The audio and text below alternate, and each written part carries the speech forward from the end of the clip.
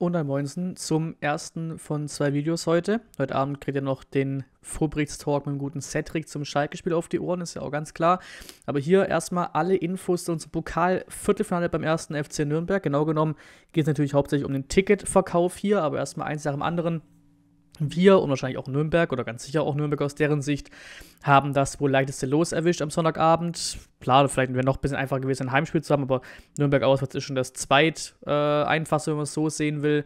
Für Nürnberg klar, Heimspiel plus der VfB ist auch das einfachste, was geht so. Ich glaube, beide sind happy, beide Vereine mit dem Los. Äh, und nun wird das Spiel eben zeitlich genau terminiert. Mittwoch, 5. April um 18 Uhr. Das war leider klar dass wir da eben den frühen Anpfiff bekommen, weil die anderen Spiele einfach auch, ja, größer sind, sportlich attraktiver sind, das war alles ein bisschen klar. Ebenso auch das ausschlaggebend dafür, dass wir das einzige Spiel sind, das nicht im Free TV läuft. Das Spiel läuft nur auf Sky, der Rest läuft irgendwie bei ZDF, ARD, Sport 1, dies, das, die anderen drei Spiele bei uns halt nicht. Aber auch das war eben klar bei den ganzen Partien. Und leider kommt es nicht zum Duell der Giganten. Also es wäre ja Weinziel gegen Labadia gewesen, ähm, aber auch unser Abstiegscoach wurde auch dort entlassen in Nürnberg und nun übernimmt Dieter Hacking ähm, bis zu Saisonende. Äh, mal gucken, ob es, ja, ist, noch, ist ja noch Zeit bis zum 5. April, ob es bis dahin dabei bleibt, aber auch Hacking Labadia war natürlich auch irgendwie ja, ein Trainer-Traditionsduell. Die sind auch beides große Namen so in Deutschland, was das angeht. Ähm, dazu Ex-VfB-Jugendspieler, auch schon ewig her, aber offiziell Ex-VfB-Jugendspieler und scheinbar auch Esslinger. Äh, Christian Viel ist dort Co-Trainer, das noch so ein bisschen als, als Nebeninfo. Nun eben zum Wichtigsten, ähm, den Tickets für das Auswärtsspiel. Weil man so Twitter und Co., wenn, man, wenn da allen ihre Nachrichten nachkommen, sag ich mal, dann ist da schon eine ziemliche Invasion geplant nach Nürnberg, sage ich wie es ist, wie auch schon letzten Male, hab mal geschaut nochmal. Zu 17 war ich ja auch dabei, grandioser 3 zu 2 Last Minute Auswärtssieg, Florian Klein in der 90. Minute oder in der Nachspielzeit das war für mich auch weiterhin der Zeitpunkt, an dem wir aufgestiegen sind in der Saison. Ähm, damals waren es 18.000 Auswärtsfans in Nürnberg, 18.000.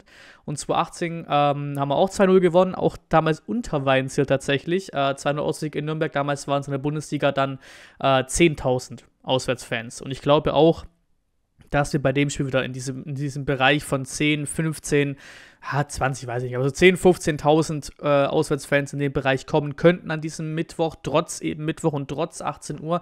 Das soll schon gehen. Vielleicht auch der VfB auch ein paar Geschichten raus mit Sonderzügen, dies, das, ne? Ähm, nun eben die Frage, wie kommt man da ran? Nummer 1 natürlich über den VfB Stuttgart selbst, ganz klar. Der Ticketshop, die Auswärtsspiele. Hier wurde auch angekündigt, dass am 9. März, Donnerstag, 9. März um 10 Uhr startet hier der Mitgliederverkauf.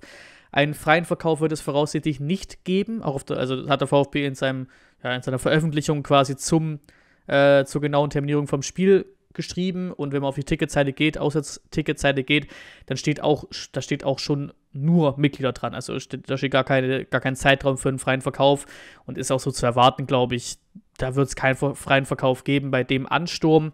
Äh, hier eben die große Frage eben wieder, großes Problem oder, oder eher das große Problem wieder hier, dass du halt als Mitglied wieder an maximal zwei Karten pro Mitglied kommst. Das ist ja die, so, äh, das ist das Maximale, was geht, schon immer dran, maximal zwei Karten pro Mitglied. Äh, hier wird sich dann wahrscheinlich auch nicht nur für mich, aber auch für mich das Problem ergeben, dass das halt zu wenig sind in dem, im, in dem Sinne, weil ich werde mich ja wieder so grob um vier Karten kümmern, so, habe wieder genug Kollegen, die Bock haben. Äh, das heißt, da geht es dann irgendwie darum, wieder über zwei Mitgliedsaccounts jeweils eben die maximal zwei Karten zu holen und eben gleichzeitig zu hoffen, dass man da irgendwie gleichzeitig reinkommt mit beiden Accounts im Verkauf, der ja auch wahrscheinlich überrannt sein wird am Donnerstag. Bin mal sehr auf die Warteschlange gespannt. Und dann irgendwie, also das wäre, da muss ja wahrscheinlich Ostern, Weihnachten alles auf einen Tag fallen. Über zwei Mitgliedsaccounts oder weniger zum gleichen Zeitpunkt in, durch die Warteschlange durchkommen, in den Verkauf reinkommen und dann noch vier Karten nebeneinander zu finden, also zwei nebeneinander pro Mitgliedsaccount. Das wird eine sehr wilde Nummer, bin sehr gespannt, aber solange ich irgendwie an vier Karten im Auswärtsblock komme, ist das mir auch, ist das mir auch äh, recht. Dann ja, hocken halt nicht alle vier zusammen, sondern jeweils nur so Zweierpaare. Kriegt man schon irgendwie hin. Ähm, da bin ich sehr gespannt drauf. Wo ich aber auf jeden Fall glaube, dass es sicher Karten gibt, ist Nürnberg. Weil Nürnberg verkauft ja auch, ist ja logisch. Äh, auch die haben wieder Dauerkartenverkauf und Mitgliederverkauf und dies, das. Aber die haben auch einen freien Verkauf, den es geben wird bei Nürnberg. Und da kann man ja auch dann an Karten kommen, die eben in Anführungszeichen in der Nähe des Auswärtsblocks sind. Also halt in den Blöcken kaufen, die halt so nah dran sind, wie es geht am Auswärtsblock. Ähm, und da gibt es dann auch meistens keine wirklichen Beschränkungen, was jetzt die maximale Ticketanzahl angeht, vielleicht mal maximal 10 Tickets oder sowas. Da kommt man schon auch gut an Karten. Darüber werden wahrscheinlich auch einige an Karten kommen müssen, weil wie gesagt, der Auswärtsblock wird durch Mitgliederverkauf extrem schnell weg sein. Da werden einige über den freien Verkauf von Nürnberg gehen. Und der startet am, in Nürnberg am 16.03. im Ticketshop. Also genau eine Woche danach, nach unserem Verkauf. Ist auch ein gutes Timing, finde ich, weil dann weiß man eben, ne, vor einer Woche VfB verkauft, dann weißt du, kam ich da an Karten oder kam ich nicht an Karten, hast die Klarheit und dann gehst du eben nächste Woche in den Nürnberg, Nürnberger freien Verkauf rein oder eben nicht.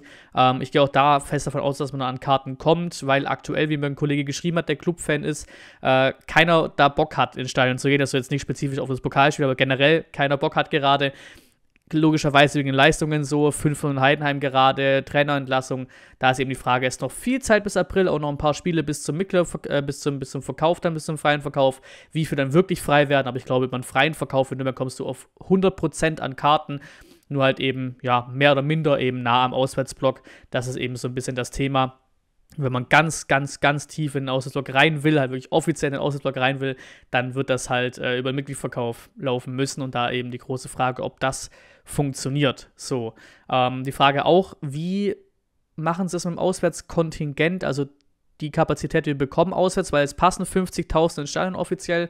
Das heißt, nach dieser 10% für Auswärtsfans-Regel sind das 5.000 Auswärtskarten. Und die werden brutal schnell weg sein über den Mitgliedsverkauf, gehe ich fest davon aus. Äh, was das auch erklären würde, dass es eben keinen freien Verkauf gibt. Das klingt für mich schon so, als würden sie sagen, yo, 5000 Auswärtskarten verkaufen über den VfB, wie es offiziell auch quasi ne, so ist halt mit den 10%-Regeln. Und alles andere, wo VfB-Fans auch noch hinwollen, müssen es halt über einen freien Verkauf gehen von Nürnberg. So klingt das für mich. Ähm, die Frage, ob sie hier von Beginn an vielleicht schon, weil sie wissen, was da kommt, gibt auch schon ersten Artikel von wegen, kommt eine VfB-Invasion und sowas, ähm, weil sie vielleicht schon wissen, was da kommt, ob man dann schon von Beginn an das Kontingent ein bisschen nach oben schiebt, ne? das Kontingent ein bisschen hochsetzt und vielleicht uns von Beginn an schon 7.500 statt 5.000 Karten gibt. Gehe ich aber irgendwie nicht ganz davon aus, vielleicht eher im Verlauf dann, dass vielleicht immer mehr Karten frei werden. So, wenn die ersten 5000 weg sind, dann kriegt der VfB doch noch die zwei, drei Blöcke daneben und dann ne, wird das Kontingent im Verlauf des Verkaufs größer. Bin ich mal gespannt, das bleibt alles abzuwarten. Ich habe richtig Bock drauf. Sind ja echt nur so 45 Minuten hier bei mir aus Ansbach. Äh, auch das erst zweite Spiel dann, was für mich klappt, quasi aus Ansbach zu fahren, quasi, weil sonst geht es ja immer heim, ne, für für die VfB-Heimspiele und auch für die meisten Auswärtsspiele, weil es einfach aus Stuttgart einfach ist, nach Hoffenheim zu kommen zum Beispiel, ne, ganz klar. Aber ich hatte bisher München, das 2 zu 2 letzte Saison, kurz vor Saisonende, 33. Spieltag, da war ich aus, aus Ansbach hingefahren, wieder zurück hierher. Ähm, und ja, das wäre das zweite Mal tatsächlich, als das, das hier geht, weil das letzte Mal, dass Nürnberg VfB war, war ich ja auch hier, so ist nicht. Aber da war ja Geisterspiel 2020, da war Geisterspiel, das 0 zu 6, hat keiner im Stadion live mitverfolgen können. Da ging es nicht, deswegen umso schöner, dass es jetzt funktioniert. Nochmal quasi ein Nürnberg Auswärtsspiel vom VfB zu haben, während man in Ansbach wohnt, doppelt und dreifach, alles geil. Also da die Auslosung einfach ein absoluter Traum. Natürlich, wir sind logischerweise noch nicht durch, aber ne, man sollte schon darauf hoffen und davon ausgehen dürfen, dass wir das schon packen könnten in Nürnberg. Ne? So ist es ja nicht. Ich werde Vollgas geben im Mitgliederverkauf, ihr wahrscheinlich auch. Bin sehr gespannt, wie groß die Invasion am Ende wird mit den Auswärtsfans. Äh, bedanke mich hier fürs Zuhören, natürlich auch fürs Zuschauen, aber hier noch viel mehr fürs Zuhören bei so einem Video hier. Ähm, und bis zum nächsten Mal.